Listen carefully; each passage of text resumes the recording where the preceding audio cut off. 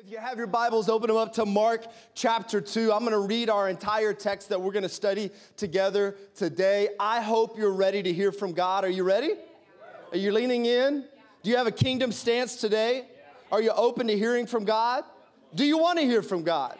All right, Mark chapter 2. If you open your heart to what God wants to say today, God's got a word for you today, church you as an individual. God's got a word for you today. Mark chapter 2, beginning of verse 1. A few days later, when Jesus again entered into Capernaum, the people heard that he had come home. And they gathered in such large numbers that there was no room left, not even outside the door. And he preached the word to them. Now, when the word of God preaches the word, you know it's going to be good. I mean, Jesus was and is the Word. And here he is, and he's preaching the Word. And this is what I hope happens today that God's Word speaks, that God's Word speaks to you. Only His Word is able to judge and to push into your heart, into your situation. So I pray today, as a result of our time together, that we hear the Word of God that we hear a word from God. Now, he preached the word to them, verse 3. And some men came, bringing to him a paralyzed man carried by four of them. Since they could not get him to Jesus because of the crowd, they made an opening in the roof above Jesus by digging through it. And then they lowered the mat the man was lying on. And when Jesus saw their faith, he said to the paralyzed man, Son, your sins have forgiven. Now, some teachers of the law were sitting there thinking to themselves, Why does this fellow talk like that? He's blaspheming. Who can forgive sins but God alone? And immediately Jesus knew in his spirit that he was that this was what they were thinking in their hearts. So Jesus is calling them out even though they're not even verbalizing what it is they're thinking. So even this morning, Jesus knows what's in your heart. You don't have to cover it up and try to conceal it. He can, he can uh, handle your thoughts, but he also knows your thoughts and he knows your hearts. And Jesus speaks to these, these men who are, are students of the law. And he says, Why are you thinking these things? Which is easier? To say to this paralyzed man, Your sins are forgiven, or to say, Get up, take your mat, and walk. But I want you to know that the Son of Man has authority on earth to forgive sins. And so he said to the man, Get up, I tell you, take your mat and go home. And so he got up, he took his mat, and he walked out in full view of them all. And this amazed everyone. Y'all say everyone. This amazed everyone, even the haters. This amazed everyone, and they praised God, saying, We have never seen anything like this. This is a stunning story, and let's, let's look at it together. Let's lean in to the Word of God together. The title of my message is Courage to Find Another Way. Courage to Find Another Way.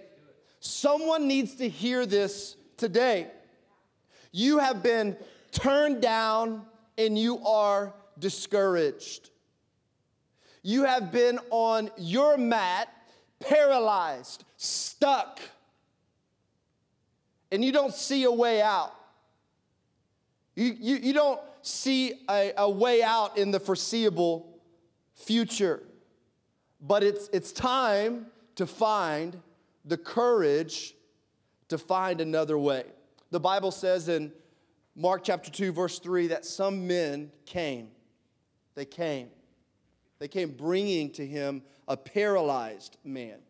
It speaks of the physical state of this man. But what we're going to learn in this story is that it, it actually speaks also to the spiritual state of this man because not only was he paralyzed physically, but spiritually speaking, what you saw on the outside is also what was going on the inside and they brought this paralyzed man carried by four of them. Now, let this play out in your mind's eye.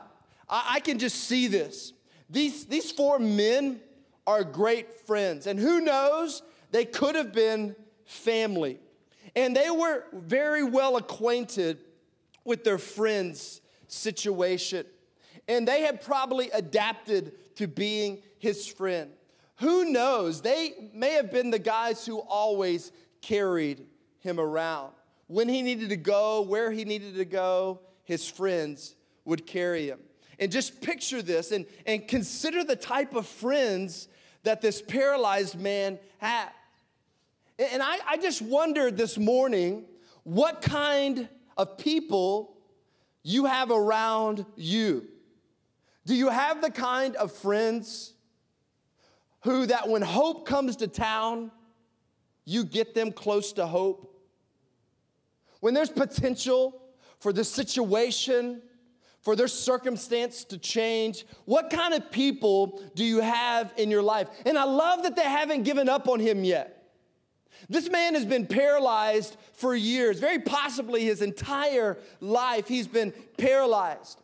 And again, they were faced with the reality of his situation. Every day, they would have had to help him get to where he was going. And again, they would have adjusted, they would have always been adjusting. But they hadn't given up on him yet. They still held out hope. And some of us have friends who are paralyzed. They're paralyzed spiritually speaking. And what we see on the outside is symptomatic of what's really going on on the inside. And let me just speak to the people of God for just a few moments here. The people that you see in our culture and in our city who are struggling and wrestling with addictions, who are struggling and wrestling with things that just dominate them, people who have marriages that are unhealthy, uh, men and women who they, they, they can't control themselves, they, they're just swayed by whatever comes their way. Can I just encourage you to not get frustrated with them, but see that what's going on on the outside is symptomatic of what's going on on the inside. May we be the type of people that see people the way Jesus sees people. Come on, can we be the kind of friends that don't push our friends down, but can we be the kind of people that have courage to carry? Courage to carry. I'm just, I'm here to tell you today that your courage is not just for you. The last four weeks, God has been stirring us to be courageous students, courageous men, courageous women for the things of God, to take a stand, to be bold in our faith, to be bold in our marriages, to be bold in our schools. But listen to me your courage is not just for you. God has done something in you, and God is doing something in you because He wants to do something through you. And I, I chose the chimpanzee today for our animal because the chimpanzee rolls in a troop. I've got a picture of a chimpanzee. Almost human like, right? Kind of looks like Quinn. Look at that. He's got nothing on your beard, though, Quinn. Next picture, everybody get ready. Come on. Looks like Roman. Check him out.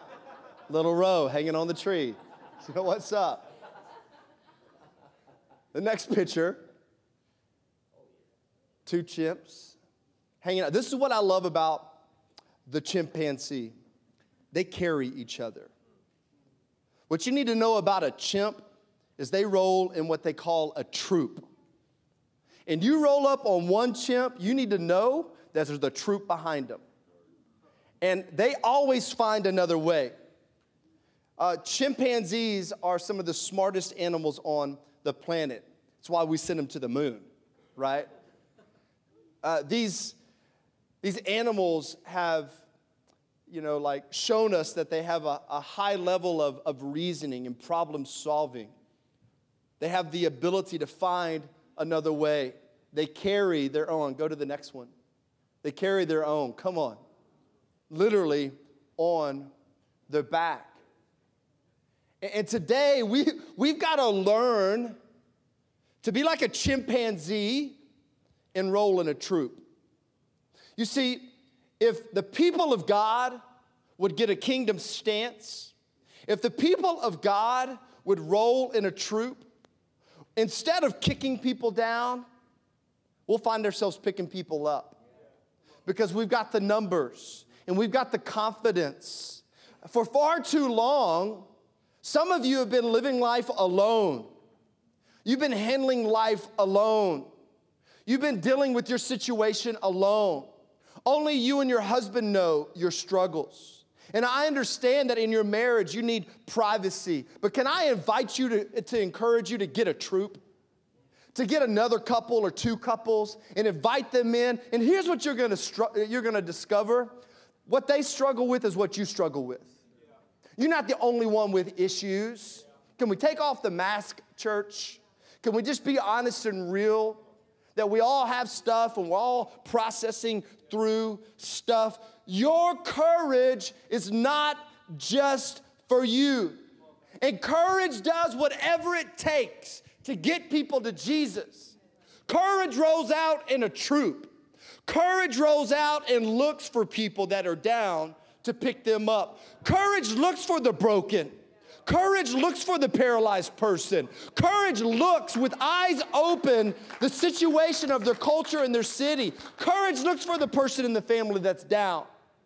Courage looks for the husband that is rejected and struggling. What kind of friend are you? What kind of husband are you? What kind of wife are you? I want to challenge you today to have the courage to carry. Because your courage is not just for you. And what we see in this story is that God has placed people in our lives that we need to have courage for. Who is that person? Who are those people in your life that God has positioned you in close proximity to, that you would have courage for them? They need your courage. They've been on that mat too long. They've adjusted to being down. They can't imagine what it would be like to be on top of that addiction. They can't imagine what it would be like to not be constantly looking over their shoulder. They can't imagine what it would be like to find forgiveness and grace and love. They can't imagine what it would be like to walk courageously like you're walking. They need your courage. See, God uses us for others something happens in your walk with Jesus when you realize that. That God uses us for others. So, so don't be blinded by what appears to be keeping them down. Don't be discouraged by what seemingly has them paralyzed. Have courage for them. Imagine the potential. See, courage sees the best in people. Courage is hope filled. Courage carries with hopeful expectation. Can you just see these boys carrying this paralyzed man through the streets? They had a kingdom stance about them. They were moving forward. They knew exactly where Jesus would be. And they carried their friend there with, with a hopeful expectation. You see, this is what courage does courage picks up and it doesn't push down. Church, we've got to learn to pick up and not push down. We, we've got to stop killing our wounded. And we have to rush to carry. I wonder what kind of person you are to your friends. What an incredible demonstration of courage. And what if we could be the kind of friend who would have the courage to carry? Imagine the potential for that person in your workplace that you think is too far gone. Imagine for the potential of the person in your family, whether it's your husband, your wife, or one of your sons or daughters. Maybe it's your uncle, maybe it's your grandpa, and you just think, man, they live long life too long. They've been on the mat too long. There's no way they'll ever change. I don't know about you, but I'm so grateful for the man who carried me to Jesus. And he didn't give up. He didn't look at the high school punk that I was. And so there's no way that kid would ever give his life to Jesus. You know what he did? He carried me with hopeful expectation. He loved me. He became a father figure to me in a home that was full of dysfunction. And he showed me just day by day by being there with me. He gave me hope. He showed me what love really looks like. What kind of friend of you are you to others?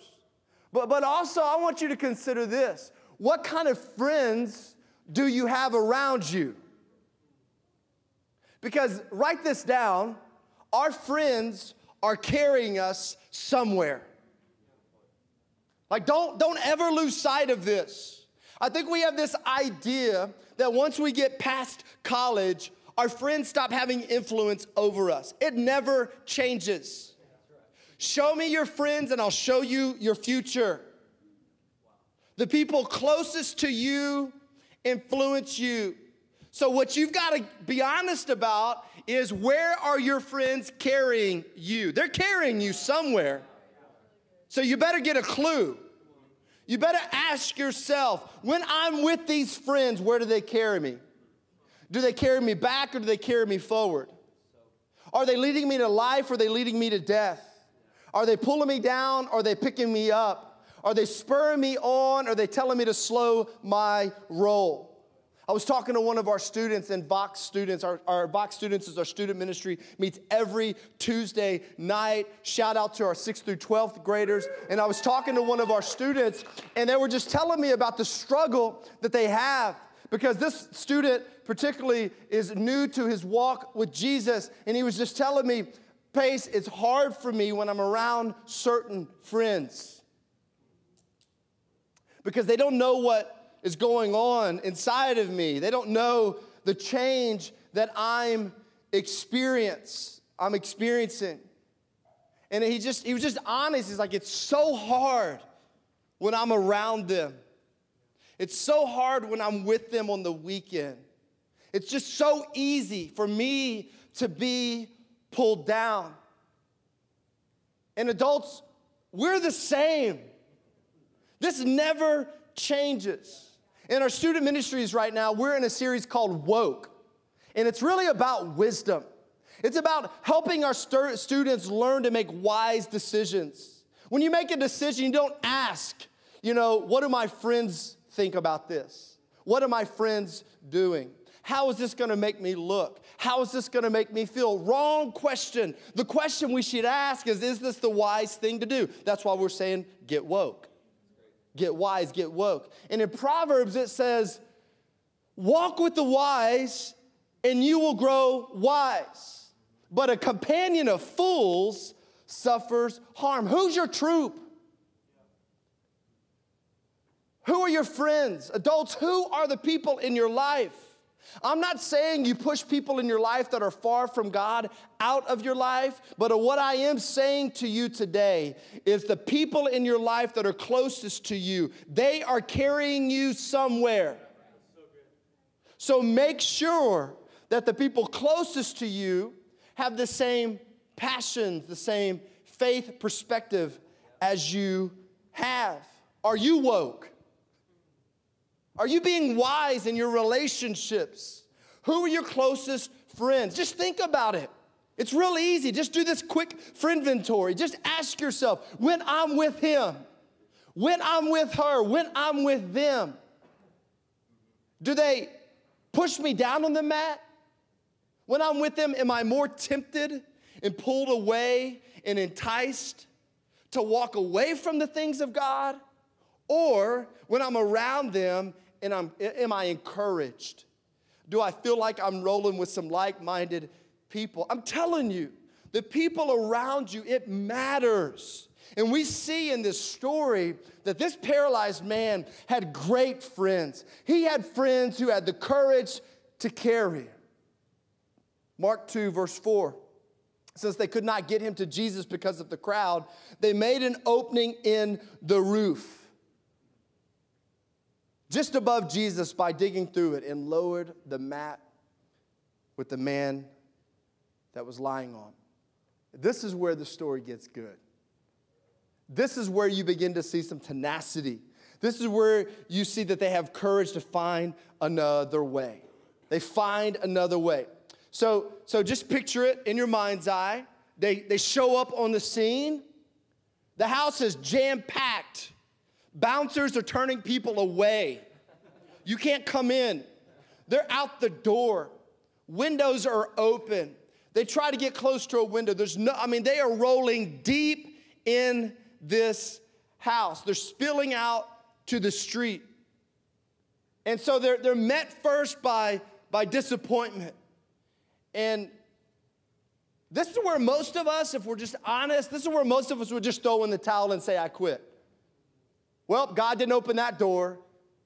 Come on, we say that too much as Christ's followers. God didn't open that door. Listen, these boys showed up and were turned away. There was no door. They found another way. Now, I'm convinced that at least one of these guys was a good old boy. At least one of them. Okay? Because you see, I can just picture it. They kind of call the, the boys over and say, Come here, come here, fellas. Which is what you need to know about good old boys. Whenever they're up to something, they always pull you away. They're like, Hey, man, trust me, hey, hey, man. And they got the other three together, and he says, We're not getting in there tonight, boys, but re- re- reckon wonder if, reckon wonder if we could get on the roof.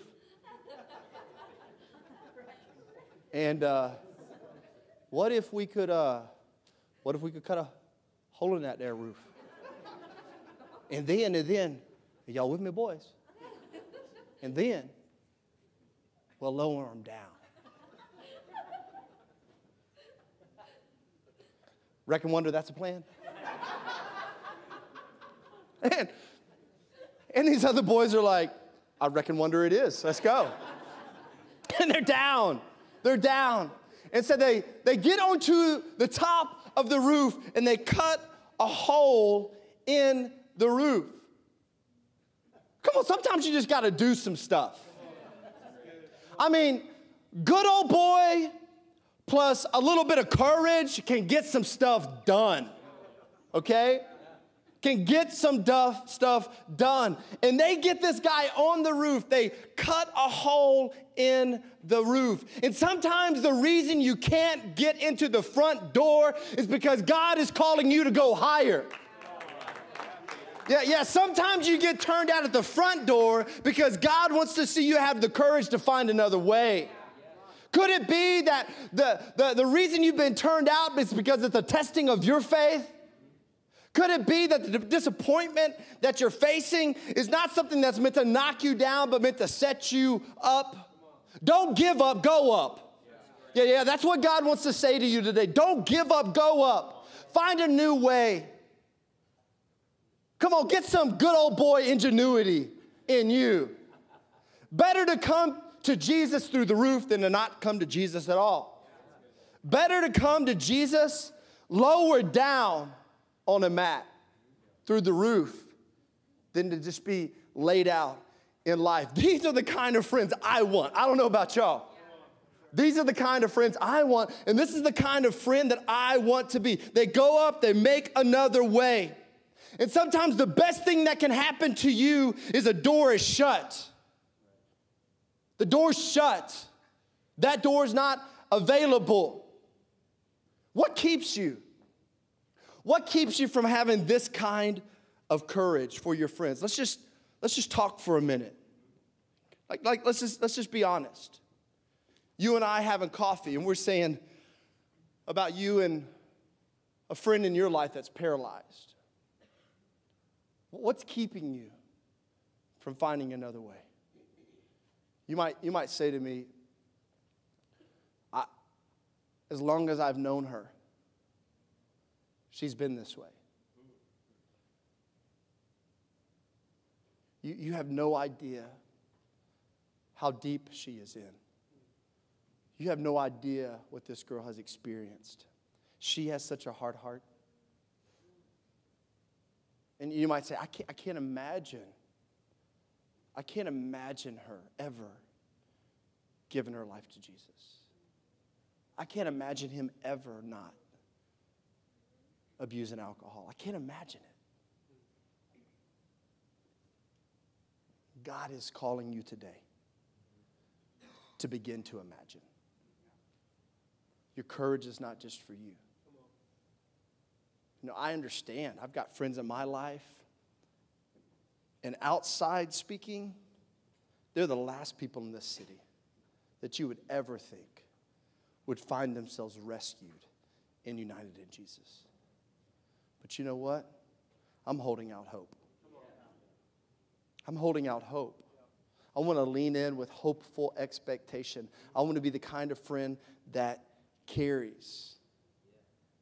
And where do they find it? Like this entire series, it's been about courage. And I've been rallying you in almost every, I mean, we had 42 people give their lives to Jesus last week we had over 100 people, many of you, who just said, Yes, I'm, I'm gonna fix my focus and I'm leaning forward. Like, we've had some rally moments in this series where we're saying we're gonna be courageous, but if you're honest, some of you are going, I think my courage is gonna run out, so where do I find more? Two months from now, three days from now. It's funny, Pace. I, I, I leave on Sunday and I feel courageous and I'm able to make the right decisions at least for the next eight hours. But something starts to happen and, and I lose my courage and, and I find myself struggling with the same things and I find myself back on my heels and, and backing down. Where do I find the courage? I think we can find it in how Jesus responds to these good old boys who have cut a hole in a roof and they've lowered their friend in close proximity to Jesus in verse 5 when Jesus saw their faith. Their faith. He said to the paralyzed man, Jesus saw their faith, but said to the paralyzed man, Your sins are forgiven. Jesus saw their faith and said to the paralyzed man, Your sins are forgiven. Jesus saw their faith, not the paralyzed man's faith. Jesus saw their faith, but shifted his attention to the paralyzed man and said, Their faith, because of their faith, your sins are forgiven. Where did these boys find the courage to be a carrier for the paralyzed men? Because of their because of their faith. Jesus responds to their faith faith produces courage for Jesus. Faith produces courage for Jesus. There's not some magic dust that's gonna come over you and give you courage. You're not gonna meditate yourself into some Zen like state to get courage. Faith produces courage. And what is faith? What is faith? Well, we see it in this story. Faith is something you can see in response to something you cannot see. The Bible puts it this way faith is the substance of things hoped for and the evidence of things not seen. So it's something that you can see in response to, hope, to a hope that you can't see. So these boys had a hope inside of them, a faith inside of them, and the faith was exercised in an action. Faith is what gives you courage. Listen, if you will hope and believe in Jesus for your friend, you'll have the courage. If you'll put your faith in Jesus and say, Jesus, I have no idea how I'm getting off this mat, and I have no idea how you're gonna rescue this marriage. And Jesus, I, but I believe. I put my faith in you. I believe you are able. And then you're gonna come one day to a point where you feel like, well, God didn't open that door. Find another way. Find another way. I'm just discouraged. My husband's never gonna change. I'll never get him to church. I'm just discouraged. My son is living like hell. I have no idea where he is half the time. I'm just, I'm just scared to death and I'm discouraged. You're like these boys who've walked up and got turned away. Find another way. How? How? Faith. Jesus just wants to be believed. How simple is that? Jesus said, if you would have the faith, even the size of a mustard seed, you could say to that mountain, Be gone, and it would have to move. Just a little bit of faith will raise the roof for your friends. Come on. Jesus just wants to be believed. And our faith in Jesus produces a courage in us that moves us in action. Mark talks of faith four times in his account. Now, Mark, who is not a disciple, is writing down what Peter, who was a disciple, encountered. And Mark is wanting people to know exactly what Peter saw and experienced. Most scholars believe that this house was Peter's house. It's funny if you read Matthew's account, Matthew doesn't even talk about the roof being raised because it ain't Matthew's house. Peter remembers when the drywall started falling, right? And he's like, oh, yeah, yeah, put this in there, put this in there, right? Put this in there. And they have faith. They, they, have, they have faith. Jesus saw their faith. You know what they didn't do? They didn't stand outside the door and sing a song to Jesus. In this moment, they didn't even sit outside the door and just say, Jesus, we have faith. No. Their faith gave them courage. Their courage gave them hope filled ingenuity, and they found another way. Ha! What would happen? What would happen in our city if we were these kind of friends? What would happen in our families if we were these kinds of friends? Courage is faith in action. that, that's, that's the point of this whole series. Courage is faith in action. Their boldness was a result of their confidence of faith. Their ingenuity was a result of the confidence of their faith. So faith produces courage. You have faith. Show me a faithful man, I'll show you a courageous man. Show me a man who has faith and believes that anything's impossible, and I'll show you a man who is bold. Show me a woman who's holding all out all hope for her husband, and I'll show you a woman who's able to put a smile on even in the most difficult times. And I'll show you a woman who's stronger than steel, who carries herself with grace and splendor who's able to love a, uh, a husband who sometimes is unlovable. You know why? Faith. Faith in Jesus. Church, do you need courage? Find your faith. You need to get off the mat, find your faith. How are you going to see your, over, your addiction overcome?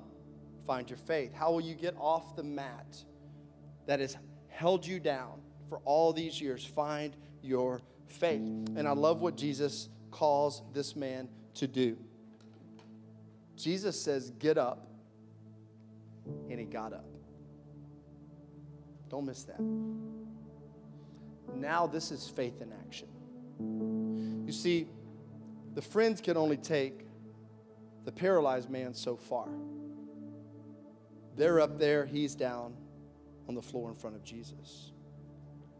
And now, Jesus, because of their faith, says to the man, Your, son, your sins are forgiven. Now, this probably messed with the friends for a few moments. They're probably thinking, like, did he say he was healed? Because we brought him here for that. you know? A good old boy up there is probably like, hey, man. So I guess a good old boy. Hey, man. And you see three times that what God is wanting to do this day, there was an obstacle. The door's the first, they find another way. The roof is the second, they find another way. The disbelief of the religious people that day, they find another way. Listen, religious people lose sight of people.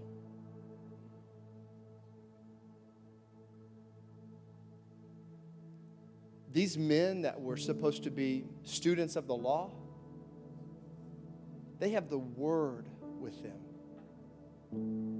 They have faith in action being lowered down in front of them. And what are they focused on? You don't have the right to do that.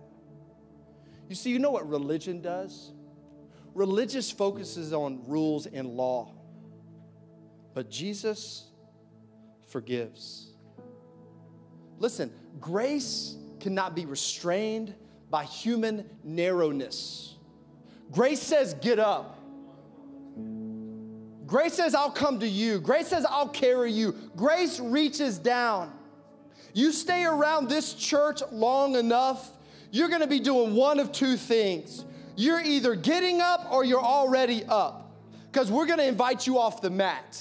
We're gonna give you a hand. We're gonna get you close to Jesus. And so, Jesus, in closing, he comes to this man, he sees him, and he says, Your sins are forgiving. You know, what happens in your life when what you think you want, Jesus pushes by and he actually gives you what you need? This man thought all he wanted was to be healed physically. But Jesus bypasses what he wants and gives him what he needs. But now it's, it's funny because one of these things that was actually uh, a closed door, something that was gonna try to keep God from doing what he was gonna do today, the disbelief of these religious people, it's their lack of faith that actually sets these people or sets Jesus into motion to, to heal the man's paralyzed legs. Because just look at it. What, is, what, is, what does Jesus say? This is so interesting to me.